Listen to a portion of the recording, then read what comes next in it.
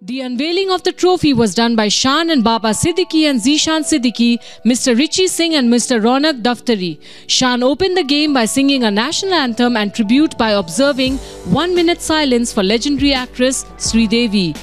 Bowl Out series powered by Bombay Coffee House, co-sponsored by Sahib Realty, conceptualized in Bandra is Mumbai's newest and one-of-a-kind elite underarm cricket league.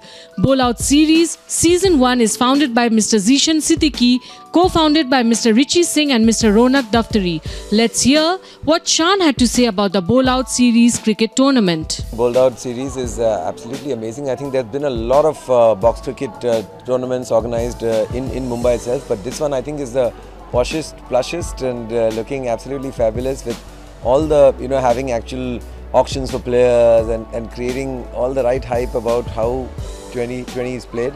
And I think uh, coming from last night's uh, India's uh, series win with uh, South Africa, sab aur bhi josh mein hai yahan.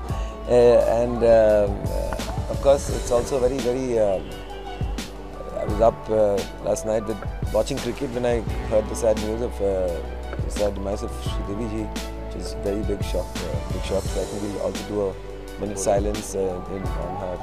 Uh, and of course, uh, I'm very, uh, you know, being a Bandraite and Baba has always been doing things for Bandra and so he's always remembered me for any situation. So I'm always happy to be there.